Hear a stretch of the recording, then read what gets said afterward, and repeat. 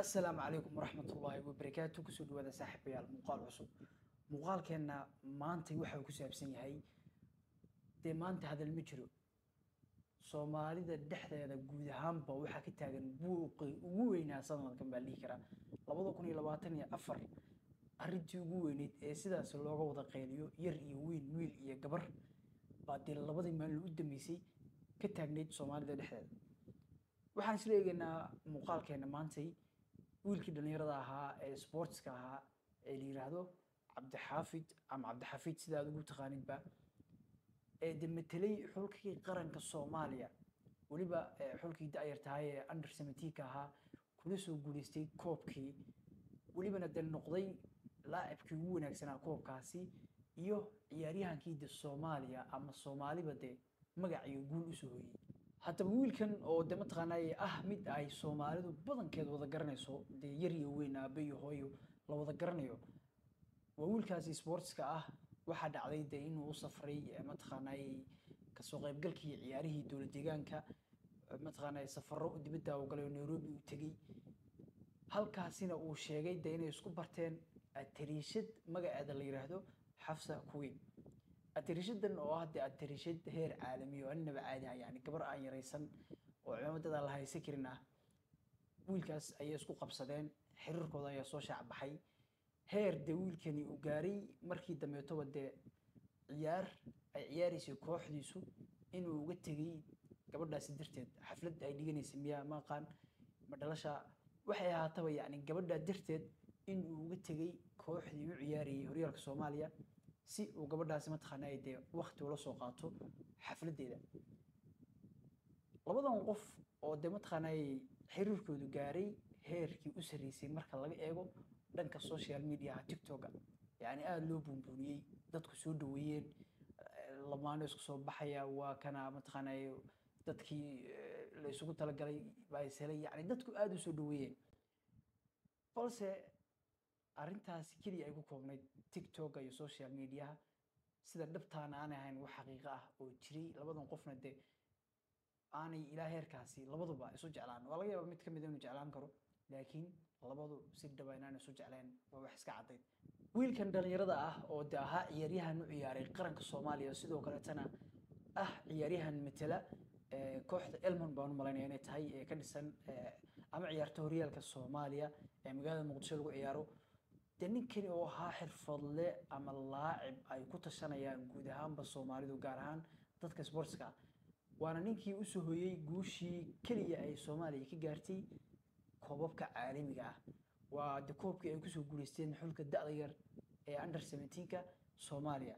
Yani da-yarta soomaaliya ay ku soo guuleysteen waa ninkii noqday laacibkii de hogaaminayey qaranka soomaaliya. Sidoo kaleetana noqdayba de xidigii koobkaasi.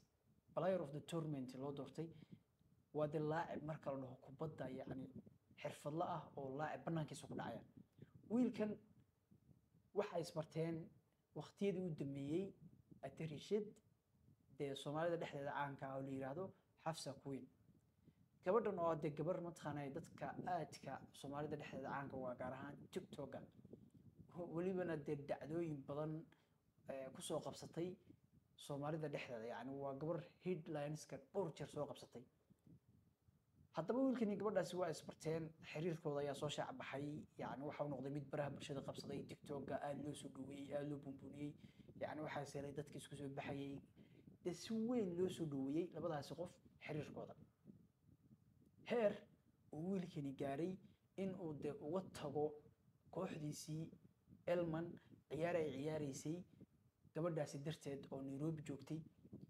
Uu safray halkaasina ugu tegay xaflad ay dhiganaysay darteed saasaan jeclahay yacni kooxdiisii oo ciyaaraysa inuu ka tegay yani uu diiday inuu ciyaaro si uu gabadhaasi ugu tago magaaladii ay joogtay.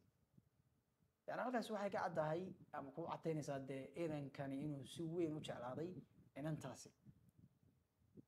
Jacaylkaasi oo muddo badan jiray wakti soo socday wakti soo socday waxa uu ku soo dameeyey aakhirkii in de wiilkii dhammaa ama dee inankii balaayarka ahaa ee qarankii soomaaliyeed iyo de kooxihii soomaaliyeedba ay ku tashanayeen.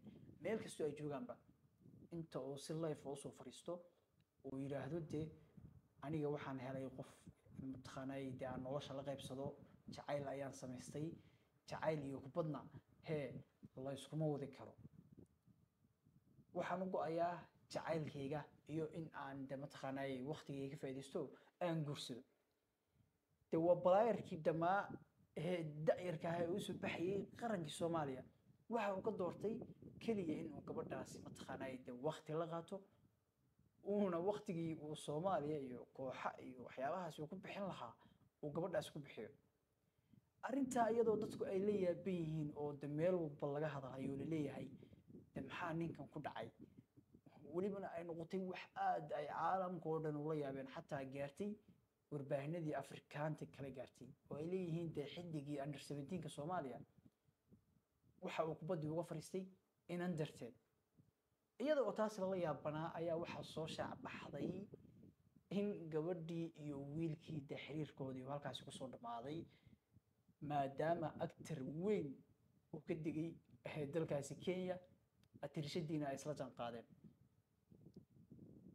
halkaasina uu ku soo shaacbaxay dee xiriir kale oo cusub oo inantii ay samaysatay. Dadkii oo dhan waa yaabeen dee inantan nin baan ku ogeynaya wiil baa mataqaanaa ay kubaddii dhan ka fariisiisay shaqadii uu waddankiisa iyo dadkiisa u hayay ay ka fariisiisay waa maxay sheekadan cusub haddana? Arrintan de ayaa noqotay mid ka qaylisiisay badanaaba dee bulshadii soomaaliyeed rag iyo dumarba aad iyo aada loola yaabay. Yacni si weynna loo hadalhayo maalmihii u dameeyey de waxa ay noqotay arrin aada looga wada naxay dadkii qalbadda wada jebisay. Heer kaba badanba dee ilaa iyo yacni yarkii ama gabadhii iyagu xiriirka isaga baxay in ka badan ayay dadkii dareemayaan xanuun.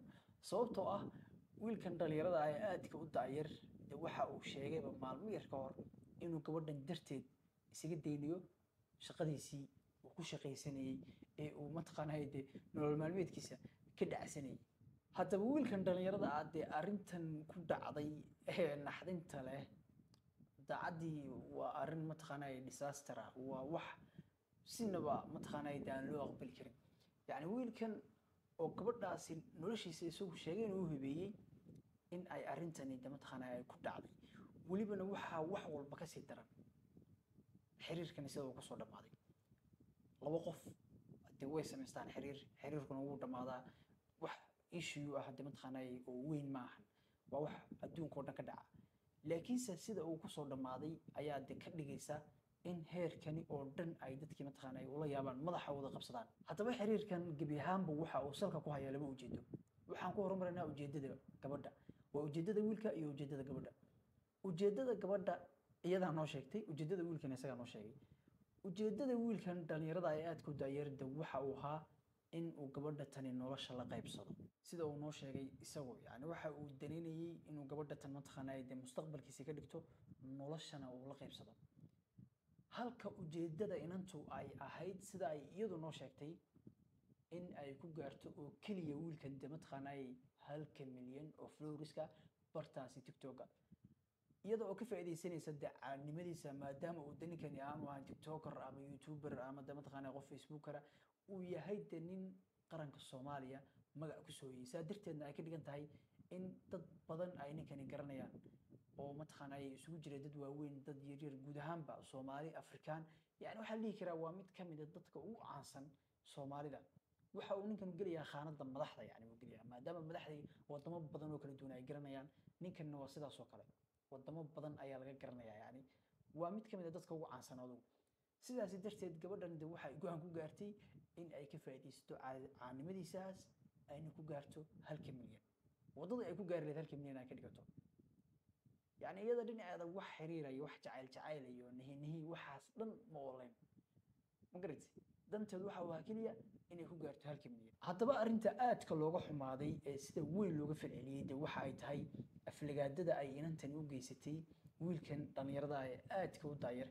Ama de waxaa dhihi karaa aflagaado lama dhihi karee waa cunsuriyad de toos ah oo gabadhani de ay inankaasi u geysatay maadaama de ay ku cayday jinsigiisa iyo qaabka ilaahay u abuuray. Yacni muuqaalkan aan isla aragno gabadhan waxa ay toos u aflagaadeynaysaa ama u cunsuriyeynaysaa de inankan waxayna ku cunsuriyeynaysaa jinsigiisa ama qaabka u weegyahay batriyadeyda waxaa waaye ilmo qurxoon naa dhalan at least aniga waa dheer waa leeyahay suniyo waa leeyahay af waa leeyahay wax fool haddii oo maxaa lahaa adi calaa kulli xaal ilmo soomaaliya kina dhalo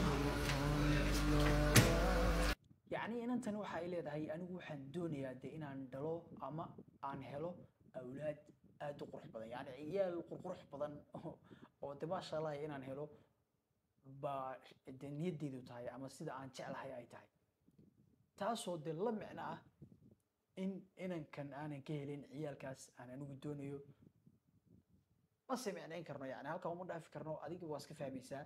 Yani in jinsiyadda inankan ama qaabka u egyahay ay gabadhaasi de ka hadlayso ay leedahay waxaan rabaa nin qurux badan oo ciyaal qurux badan de mataqaanay aan ka helo.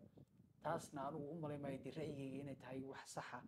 Mataqaanay de nin qurux badan haddaad guursato in ay mataqaanay de boqolkiiba boqol aad hubtid inaad heli doontid ciyaal qurux badan maybe inaad ninkaa quruxda badan aad ciyaalba ka helin yani taasi boqolkiiba boqol waa fikrad aad u khaldan. Almuhim horta gabadha iyo wiilkan de xiriir rasmi horta maka dhexeeyey dad baaba waxay leeyihiin de labadan qof waxaan waa ku soo heshiiyeenoo wax mataqaanay jira maahan. Waa wax yani daraamaayo oo annaga de validation ama views lagu raadinayo ma fahanti?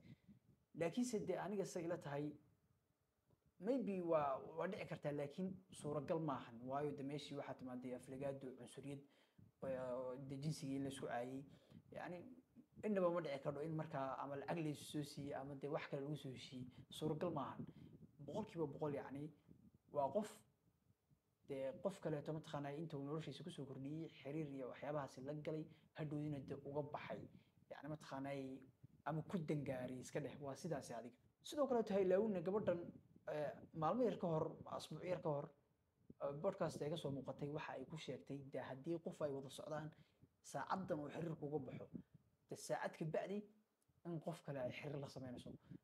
Hadalkii ay maalintii dhahaysay dee dad badan waxay u haysteen in gabadhani ay iska hadlayso ama de wax ay iska tiri u ahaa. Balse bataatanbo waa wax boqolkiiba boqol sax ahaa oo ay nolosheeda ka sheegtay. Xaaladdan hadda taagan ayaana caddayn u ah. Iyadoo hadda xiriir ka baxday xiriir kale ayayba ku jirtaa waa iska baashaalaysaa. Kama waqasnaba